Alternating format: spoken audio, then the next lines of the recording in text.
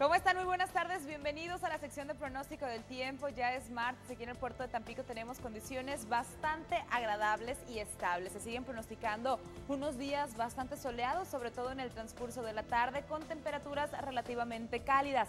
En este momento tenemos una temperatura de 28 grados centígrados, misma sensación térmica en nuestra zona. Humedad relativa del 62%, punto de rocío 20 grados centígrados. El oleaje hasta el momento se encuentra estable de 2 a 3 pies de altura con un puerto que permanece abierto a todo tipo de navegación. El viento en nuestra zona lo tenemos a una velocidad de 26 kilómetros por hora proveniente del sureste y la presión atmosférica se encuentra ligeramente baja en 1010 milibares.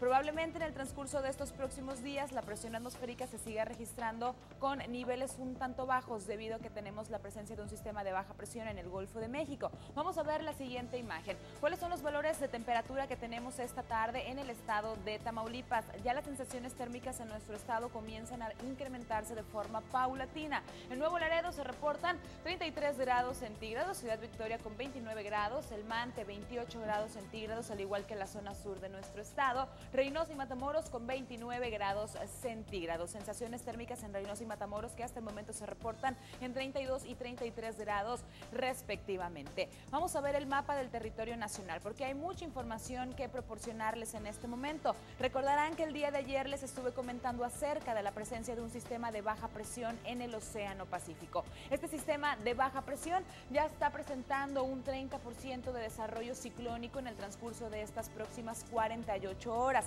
Cabe hacer mención que este sistema de baja presión se está registrando mucho antes de lo previsto. Recuerden que este próximo 15 de mayo da inicio la temporada de huracanes, da inicio oficialmente la temporada de huracanes en el Océano Pacífico. Sin embargo, se espera que en el transcurso de estas próximas 48 horas este sistema pudiera estar evolucionando tal vez a una tormenta tropical, la primer tormenta tropical de la temporada.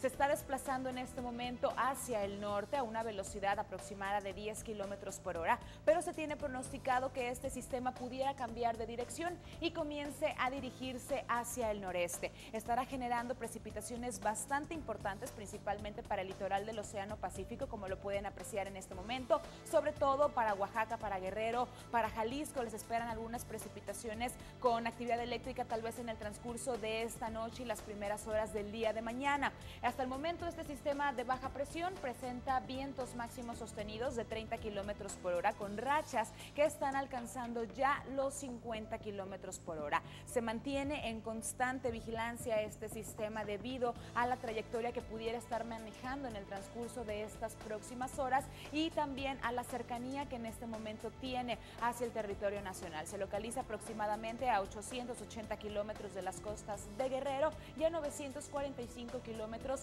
de Colima. Se espera que también en el transcurso de estas próximas horas las precipitaciones comiencen a ocasionar problema hacia el centro de nuestro país y hacia el noroeste mexicano. Se esperan vientos de algunas con la trayectoria que de componente norte con rachas que pudieran alcanzar los 55 kilómetros por hora debido a que también muy cercano a la península de Baja California ya se registra un sistema de baja presión. Sin embargo, ese sistema de baja presión solamente estará aportando nubosidad importante hacia toda esta zona de nuestro país y en lo que más estará afectando en el transcurso de estas próximas horas será en las rachas de viento. El más importante hasta el momento es este sistema, como les comentaba, 30% de desarrollo ciclónico en el transcurso de estas próximas 48 horas. Esto ha sido todo en la primera sección de pronóstico del tiempo. Recuerden que regreso con más información minutos después de las 3 de la tarde. Buen provecho para toda la gente que ya está comiendo y me despido agradeciendo el gentil patrocinio de mi vestuario del día de hoy, como siempre, de Colan Chic. Gracias.